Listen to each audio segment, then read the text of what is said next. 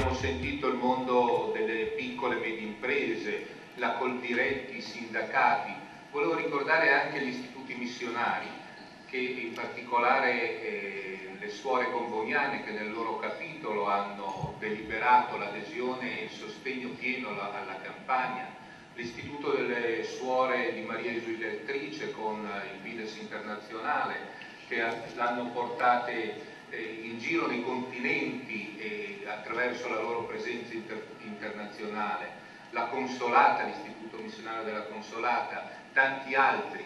E oggi volevo anche, mi è giunta eh, il suggerimento da alcuni qui in sala, lanciare un appello alla conferenza episcopale italiana che è riunita, perché forse anche la nostra Chiesa deve liberarsi un po' dalla rigidità del maschilismo e dare spazio alle donne, questa è un'occasione attraverso la campagna di lanciare un forte segnale anche da parte della Chiesa italiana.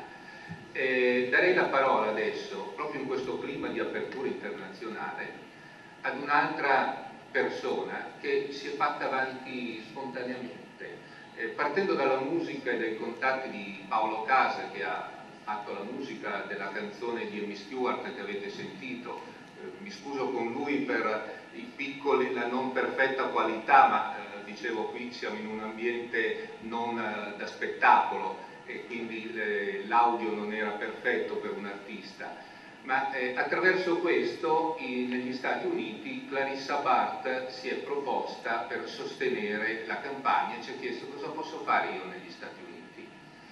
Ed è iniziato un lavoro sua spontanea volontà, per la quale la ringrazio tantissimo. In questi giorni è stata con noi e oggi ci racconta il perché e che cosa sta facendo lei negli Stati Uniti per sostenere il Nobel alle donne africane.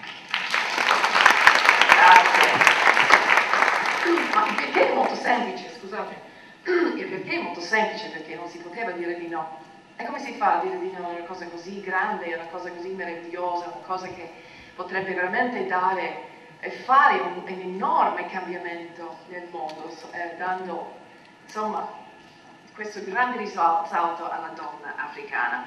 Io sono venuta qui per conoscerle proprio una ad una e fare un'intervista perché eh, fatto dei video che poi vi dico dove andranno a finire, però ho fatto un, un video di, di ciascuno, un'intervista a ciascuno per capire chi sono, per conoscerli meglio.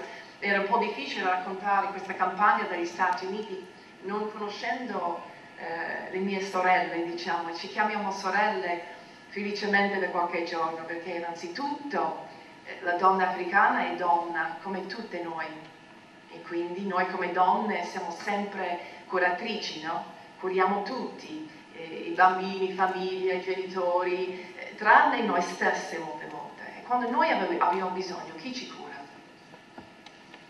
Le nostre amiche, no? e quindi le nostre sorelle.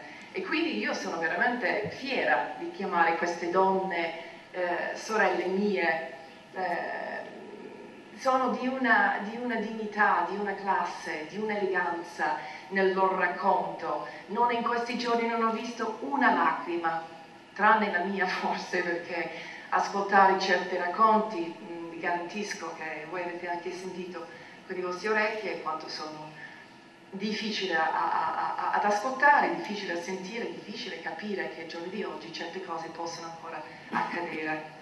Però queste donne sono arrivate con, con grande orgoglio del loro paese e io insomma sono felicissima, fiera, orgogliosa anch'io di, eh, di, parlare con voi, di aver eh, avuto questa opportunità. Negli Stati Uniti farò del mio meglio. Prima Elena ci ha detto guardate io già per me essere qui tra di voi, già questa platea, già, già essere nominate per, per, noi vuol dire già aver vinto. Eh no, cara, eh no, io non, non accetto. Sì, è un gran passo avanti, ma io veramente sarò la donna più felice del mondo con le mie sorelle dell'Africa quando vincerà, vinceranno il premio Nobel per la pace. Grazie.